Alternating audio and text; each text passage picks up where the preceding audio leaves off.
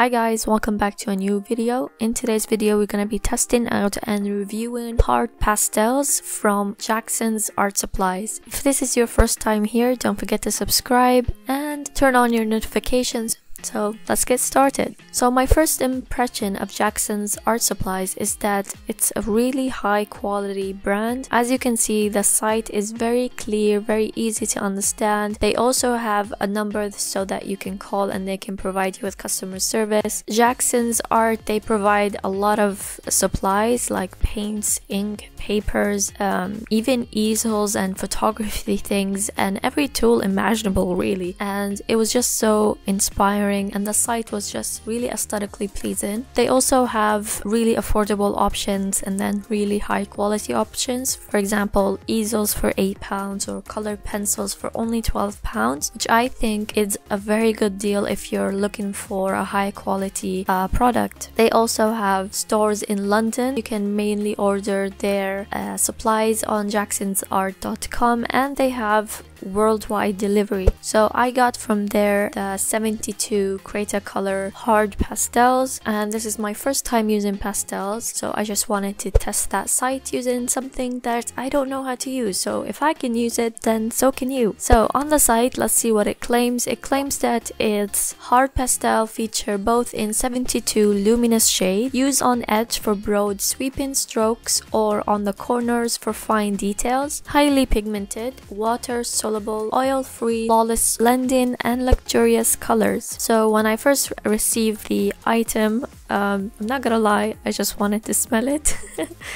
they looked like candies to me. Honestly the colors they were just so pigmented and i just really liked them for some reason and they were so neatly organized. Like if you have ocd like me and you see this set you're gonna just love it. So each color is more than two inches i'd say long so you'd get a lot of products for your money. They feel hard on the hand but not too hard that it's not comfortable. They're square shaped. The dark blue one did leave some powder on my hand. So basically i've been just testing out their blendings. Try to blend this color with a white color to see how well it blends and it blends really easy to be honest. The only thing that I noticed that because they are hard pastels you have a lot of grain or let's say powder left from the chalk but when I was doing the rendering I didn't see that or it didn't feel like a problem to me. So I'm thinking that was only because I was trying to get it in that rectangle and it was a big rectangle. Um, so usually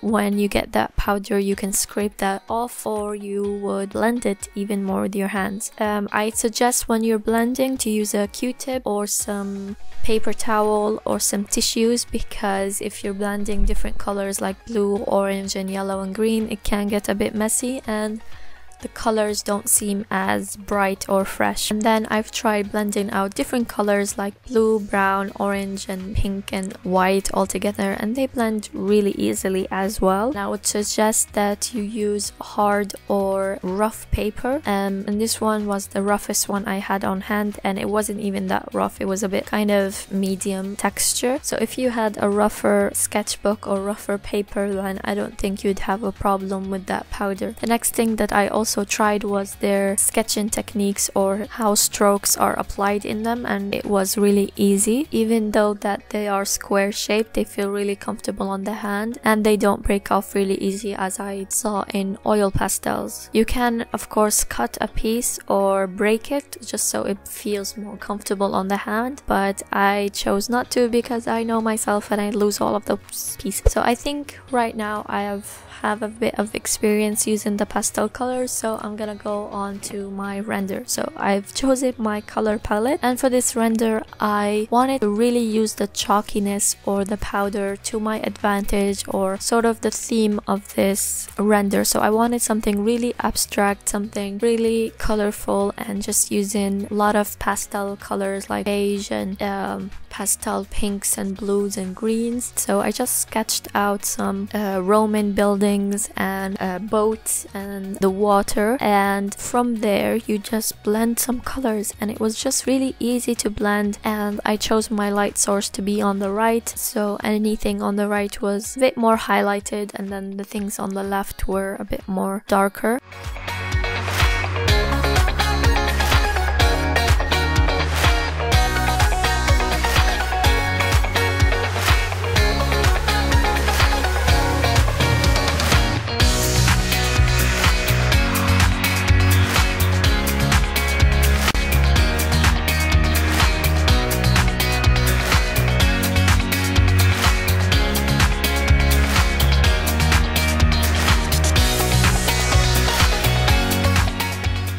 And you basically just blend colors on top of each other just so that it looks a bit more interesting. And and I just went back and forth in that method so that one area doesn't look plain or boring. It just had a lot of layers and textures. And that's one thing about pastels that you need to do is lay different colors and layers on top of each other to get the effect that you want. And as I said I didn't use black in, in this render. All I used was brown. And I think I may have used black. I'm not sure. But I used pencil 6B I think or 4B just to make things darker because 6B or 4B um, it had a soft texture so it kind of mixed in well.